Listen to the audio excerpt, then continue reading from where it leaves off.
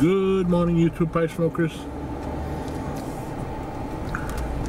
So just watched the YouTube video. Brian Doran. I think it's Beans 316. Good channel, check him out. He also makes some pipes, which you may want to get one while you can. He usually makes pokers. Um, I think I have two of them. Does a nice job. Anyway, uh, he just posted a video. And uh, eBay has jumped on the bandwagon and banned all tobacco sales on eBay. Which, as he said, is a that's okay because people have been ripping people off with the McClelland blends for ridiculous amounts of money. But keep in mind that's not why eBay did it. They did it because of the tobacco thing.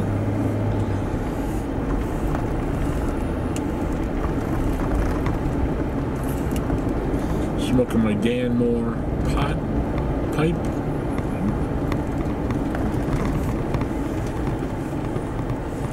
And um, you know, it's getting a little ridiculous.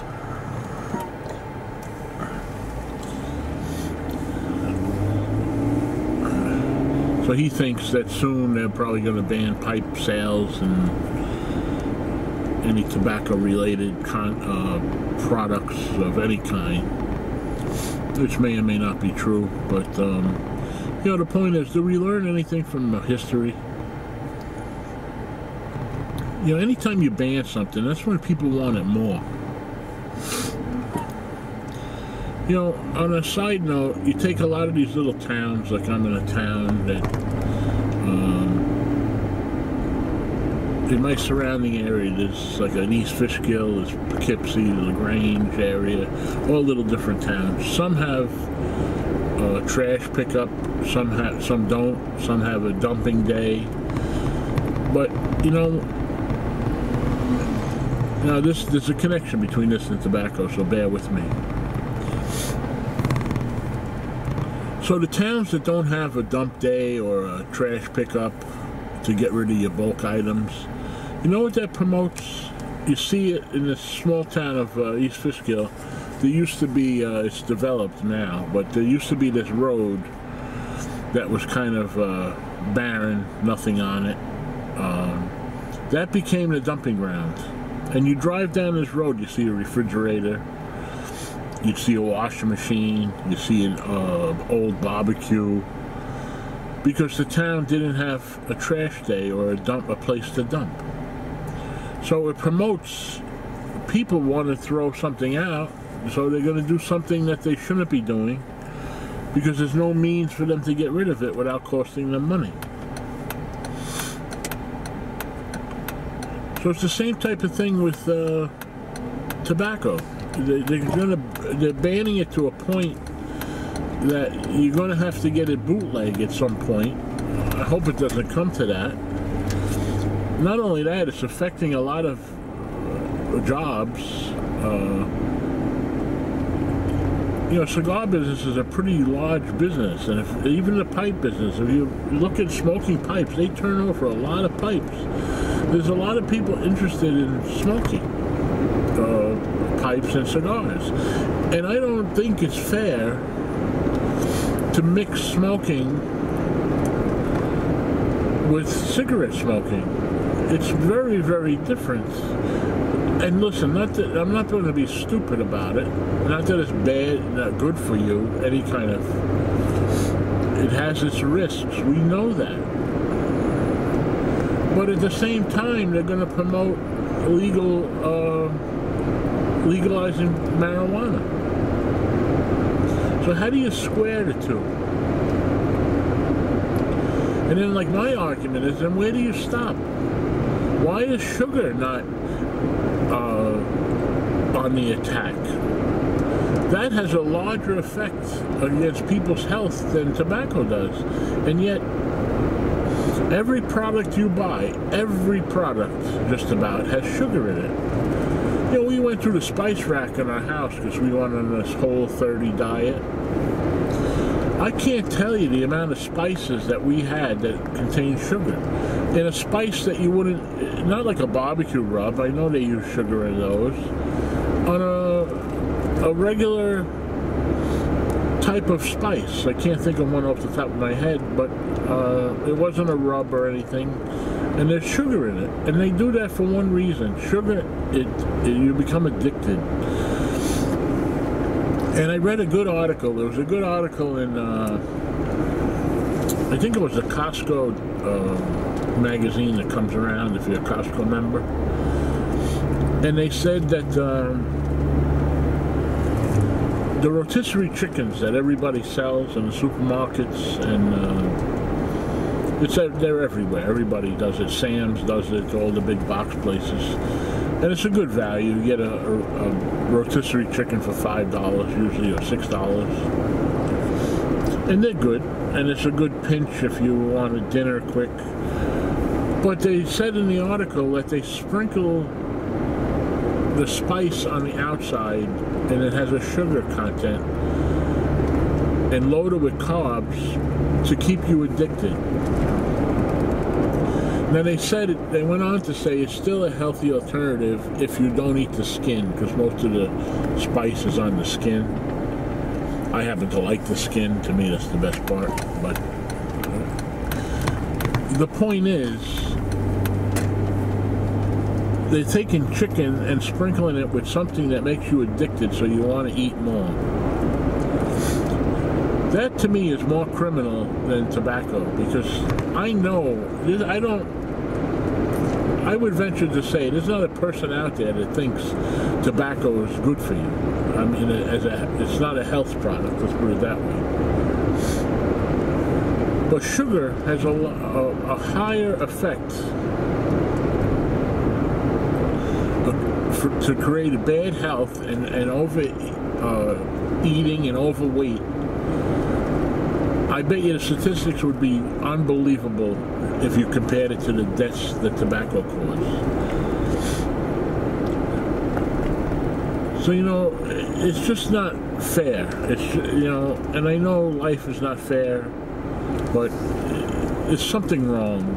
You know, there's just something wrong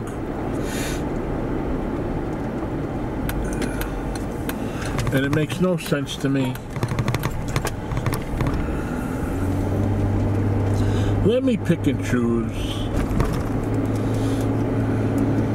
You know, I know what's best for me.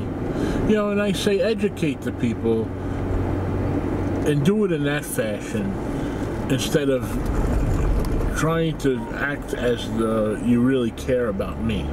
The government doesn't care about me.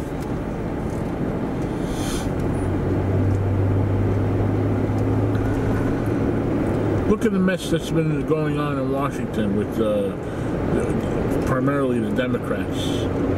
What good? What have they done for any person to help them? So you think they want to help you? Do you think they care about you, whether you smoke tobacco or not? That's not the point.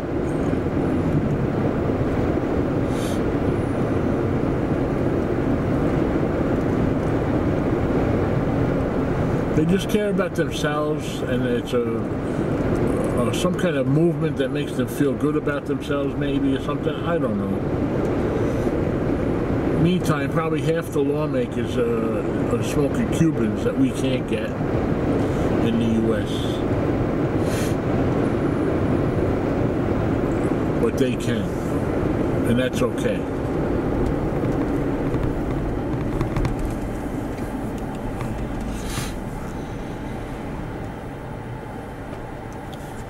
You know, I understand if I had a kid, a son or a daughter, I wouldn't want them to smoke. I wouldn't uh, promote it for them. But if they wanted to, and hopefully they would do it sensibly.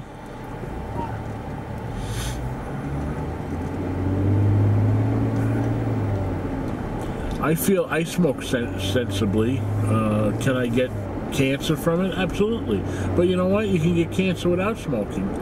Know, I had a good friend of mine, uh, had, he's still a good friend, that works in the transmission business, and he got lung cancer. Never smoked a day in his life. Never tried it, never smoked it. There's nobody in his household smoked, so he didn't get secondhand smoke, and he got lung cancer.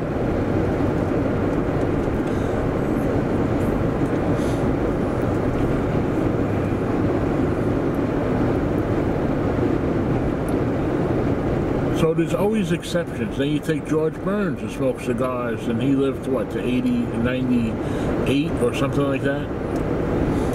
So, you know, they don't know enough about it, first of all. And again, not to be naive about it, granted, inhaling any kind of smoke or tobacco can be harmful to you. We know this.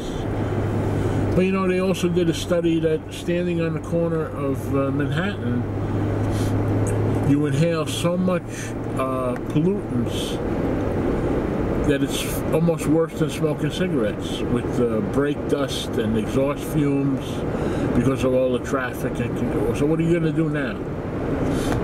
Ban cars? Well, actually, the, some of them green movement idiots want to do that anyway, but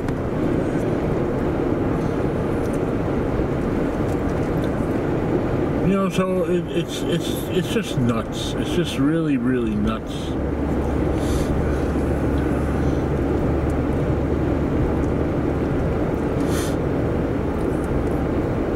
And they're going to continue this attack until they get it to the point where they feel it's adequate. And it's just going to create an underground tobacco movement. That's all that's going to happen. And the people that want to smoke are going to have to find a way. Now you're going to get people, and it's happening already, hoarding tobacco and stocking up it's just stupid. It really, really is stupid. You know, this is all feel-good BS. Same thing with the plastic and cups and all this nonsense. And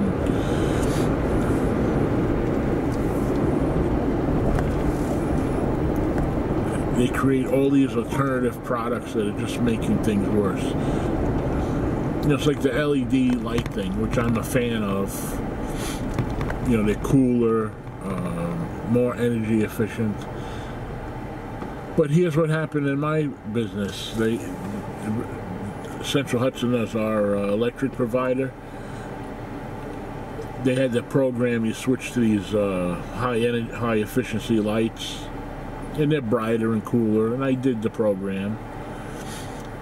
And I noticed my bill didn't go down because what happened is so many people have been switching that they they didn't get enough revenue to support their company so they raised the cost per kilowatt so now my electric bill is just as high as it was before and I'm more energy efficient so they didn't save me anything and now they created another nightmare with getting rid of some of these bulbs and products. So just, you know, get out of my way and, you know, protect me from war and diseases and, and, and do the right thing, lower the taxes, create jobs, and let me live. That should be what they're concerned about. And educate people and do it in everything. If you're really going to look out for me or the people, then, you know, get after the food manufacturers, the pharmaceutical companies that have vaccines with mercury in it that they give children, and there's some links they claim to autism from this. You know, go after those. Uh, things that really make a difference and just stop the the stupidness. Uh, it's so frustrating. It really is frustrating. You know, that's why, regardless of what you think, you got to vote some of these idiots out. Really, it's just unbelievable. They're creating a more stressful society. That's what they're doing. Anyway, not to bum you out for the weekend, but I hope you're having a good weekend. I hope you have a good day. Try to remain calm and cool. In the words of Ralph Kramden, pins and needles, needles and pins. It's a happy man that grins. Now, what am I mad about? They're attacking my tobacco! anyway, catch you on the next one. Thank you.